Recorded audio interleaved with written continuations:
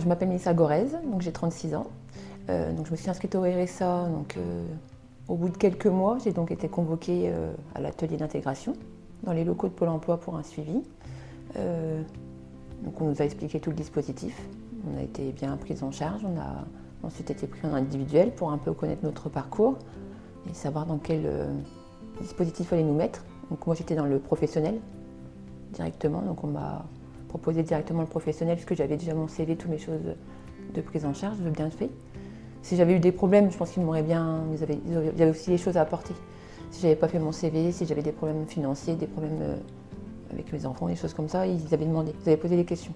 Donc moi ça va, j'étais déjà bien dans mon chemin de professionnel, donc euh, ils ont pu m'aider. Et euh, j'étais sur le, le, site Nactif, donc j'ai vu pas mal d'offres d'emploi où j'ai postulé.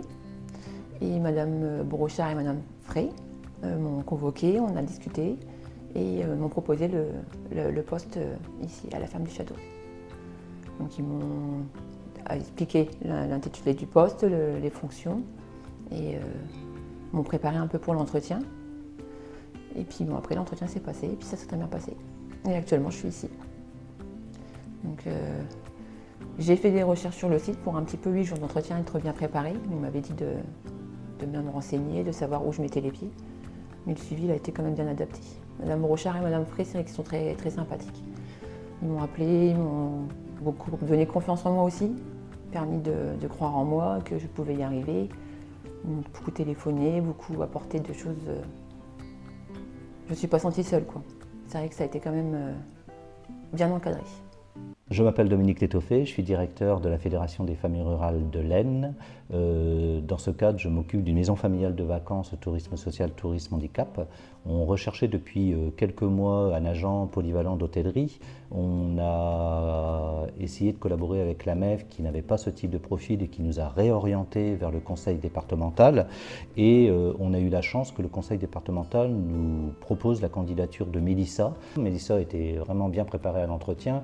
ce qu'on a vraiment apprécié, c'est que on s'est rendu compte que euh, le conseil départemental l'avait préparé, j'insiste là-dessus sur cet entretien, parce qu'elle connaissait la structure, elle connaissait euh, le type de public que l'on accueille.